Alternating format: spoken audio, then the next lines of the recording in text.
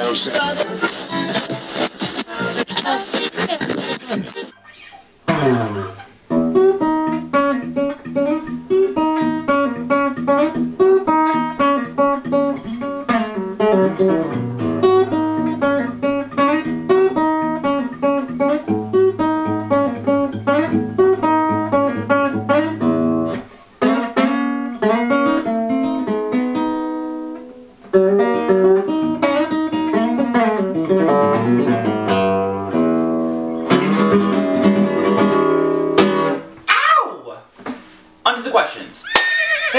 everybody, what is going on? Welcome back to another lunch break Q&A. Yeah, I hope you're ex as excited as I am. But I'm kind of bummed out. I don't have any tea. We're out of- tea. Anyways, on to the questions. Let's see what we have going on this week. Okay, so let's get started with question number one. This one comes from Charlie Vidal. Hope I'm saying that name right. His question is, are you playing a Game Boy Advance? So, if you go back to last week's video, you'll notice right here, it's obviously not here now, it's over there, but um, in the corner of the desk, there was a Game Boy Advance sitting there, and I put that there, and I wanted to see if anybody would notice it, and someone did. I was like so pumped up whenever, uh, whenever someone commented about it. But yes, I still play Game Boy Advance. I also like we have a Wii and we play nothing but old um, Mario games. So, anyway, then you also asked uh, what game I was playing. Pokemon Yellow, bro. For real though, Pokemon Yellow. Man, you're 90s kids. You're like me. You gotta be playing Pokemon. So that was question number one. Okay, on to question number two. This one comes from Sam Corrigan. He says, ever tried a micro terror? If so, what do you think? I have tried. I've, I've tried most of the orange um, amps. The store that I work at is a um, orange dealer, so I've tried like the tiny, the micro, the dark, the dual. Is that one? Um, a bunch of them, and I really like them for how tiny those things are. They sound um, like huge. The micro. I think I called it the tiny terror, but the micro. Um, but yeah, they, they're so cool that it's such a small amp and it sounds good. Uh, my buddy Ryan down at RNA Music, he's also an orange dealer, um, but and he loves the orange amps. I remember he brought one up here. I can't remember what he brought exactly, but um, he played it and it sounded great. But yeah, micro, amazing. You know, for such a little amp to be so loud and actually have good tone and all that stuff. It's really cool. My favorite is the Dark Terror. I think that's my favorite out of all of them. Um, of the small of like the terror series but yeah you know micro terror rocks question number three. See if i can figure out how to operate my computer or not. I think it's smarter than i am. This one comes from bradley katz. Hope i'm saying that one right as well.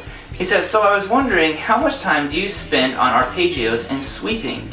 Um on sweeping, not much time at all. It's a technique I don't use very often. Um, I spend much more time, if it's a picking thing, on, um, I'm, I'm really trying to get better at economy picking, um, and hybrid picking something I've done for a long time, but I'm always trying to get better at that. And then like the obvious ones like alternate picking. So um, I do those, I mean I do spend time on sweep picking, but um, my focus is usually not on that. Now as far as arpeggios go, I spend a lot of time on those just because I love the way that um, arpeggio sounds. It has such a unique sound. It doesn't sound like a scale. If you're a student of mine, I'm always saying this, our goal is to make a scale not sound like one. And our arpeggio is a, is a perfect way to take notes from a scale or like a chord um, phrase or something like that and, and put it together. And it really just has this big dynamic sound to it. And um, you know, I just love the way that a, a nice arpeggio sounds. Whether it's swept, um, picked out, string skipped, tapped, they all just sound cool to me. And I like all of them. So I will do one more question today because this one's kind of like a, a two-part question. So it's a little bit long, but um, I wanted to do this one.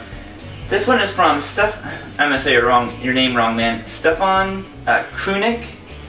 Hopefully, hopefully I'm like within the spectrum of how you say your name. He says, I've got two questions. Please answer them. One, why are you using a Fender Mustang amp and not a more expensive tube amp? You've got a very expensive guitar and the amp seems cheap. I believe your Charvel has got more potential than that amp. Um, I think it just kind of comes down to personal preference.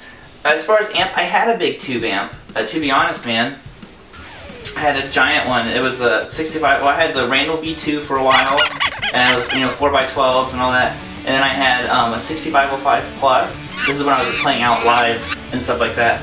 And I had those, but like I never used them at home just because they're so loud. I mean, they're like 100 watt tube heads. And I forget what the V2, the V2 was. I think it was like 150 watts or something, which is just crazy to have an amp that that is that loud. So um, as I, I kind of got out of the band thing, this is around the time I started doing YouTube stuff, um, I just sold it. I wanted stuff, uh, better computers, um, things like that to focus on like the video editing and teaching side of, um, I guess, what I do as, as in my career. But, um, so I just kind of sold them. Um, and I used the little Fender G-DECs for the longest time. Just, they're just great little practice amps.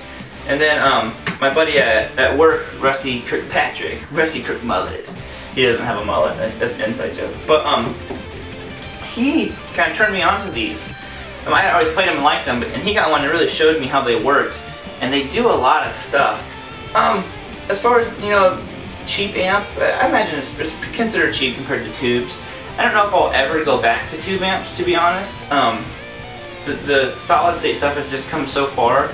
And around in August, I should be getting um, an Axe-Fx uh, XL, so like the new one. So again, I'm, you know, I'm kind of not going the tube route again. So that's just kind of um, what I like. I like having great tone at low volumes, and um, these things get pretty loud. I think the Mustang 3 is a is it 100 watts, 120? I don't know. I mean, solid state, but um, but that's why. You know, I just like having low volume, good tone, a good tone to me, anyways. And the second question is, I put 11 Okay, I put 11 gauge strings on my electric. I ripped the calluses off my ring finger. Ooh, I hate when that happens. Um, and it hurt me so much I could barely play. I took a break a few days and now I can't get the grip on the strings. My playing is and has been awful for the past four or five days. It's like I've taken away six months of playing. How do I fix this? That's always, um, always sucks. During the wintertime, my fingers split really bad because the, you know, the lack of humidity. And um, I have a horrible time with stuff like that, and I don't get to play as much during this uh, winter as I do during the winter. during the winter as I do during the summer. Um, I always say, if you're having a hard time overcoming some hurdles, always go back to that fun factor and, um, you know, give it a couple days. I think it'll all come back, and then you'll be back to normal. Um, I got really sick one time for like two weeks, and I literally did not play my guitar or teach or anything for two weeks. And when I finally was able to um, come back and play, my hands were so stiff and rusty. And the first thing I did, I was like, oh man, I sound like crap. And I was like, you know what? Let's play, and I played like a Journey song or something. So that is my advice to that. But that will wrap it up. Hope I didn't talk too long for you guys. This is Lunch Break Q&A number two. Negatory on the sweet tea today. I'll make sure that that problem is solved. But if you guys have questions, please leave them below in the comment section. And um, I'm posting another one of these videos next week, and I will pick four or five of those comments, and you will be featured here.